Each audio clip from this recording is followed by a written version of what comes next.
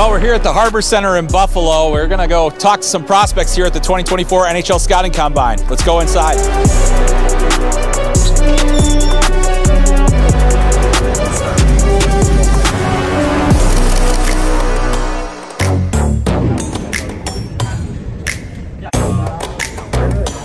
Hey everybody, Chris Peters here from FloHockey. We're at the 2024 NHL Scouting Combine, it's a week that's always about information and final decisions.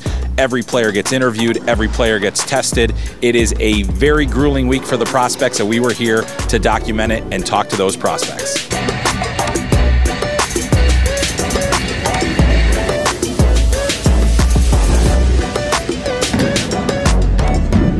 Michael Brandsegg-Nygård was one of the first players through testing today.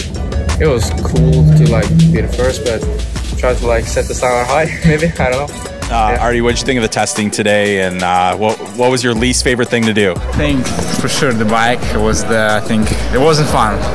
It wasn't fun. I think it was the hardest uh, exercise uh, uh, during during this combine, during this testing. I think, but uh, still, yeah, I tried my best. We're outside the KeyBank Center here where NHL teams have spent the entire week grilling NHL prospects, asking them strange questions like how do you describe the color blue? And things like what animal would you be? We talked to some of the prospects about one of the weirdest questions that they got all week long. How you describe the color blue maybe?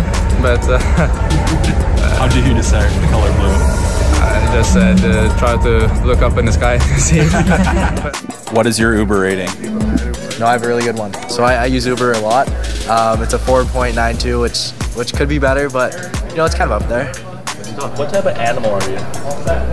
A dolphin. A dolphin. Yeah. Thank you. Thank you, Glenn. Yeah. yeah. Got a couple funny questions. Uh, one, if I was to join the army, would I be a pilot, uh, medic, or a sniper?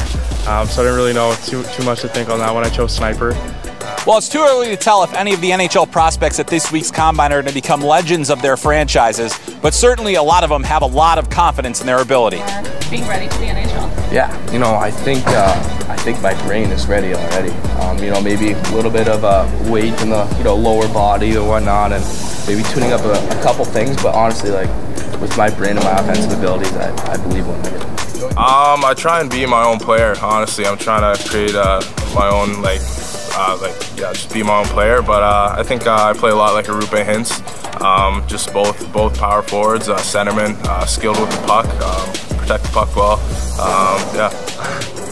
Um, I would say that just uh, understanding that one game doesn't show that I'm the bad goalie and uh, if I can really establish this self-confidence and stick to my, stick to my routine, uh, do my thing, and uh, just again continue the work, hard work on every day, every game.